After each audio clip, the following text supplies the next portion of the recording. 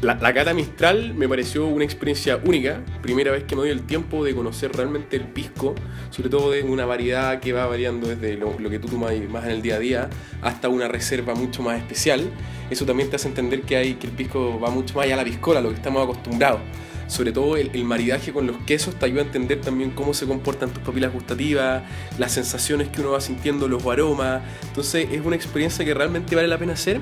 Y en este caso, con los amigos que nos juntamos, todos disfrutaban muchísimo de lo mismo. O sea, todos estamos aprendiendo mucho, disfrutando, disfrutando el maridaje. Entonces realmente es una experiencia que a mí no se me va a olvidar nunca, te lo prometo. Gracias totales a Pisco Mistral por darnos la oportunidad de conocer en profundidad lo que es realmente el pisco.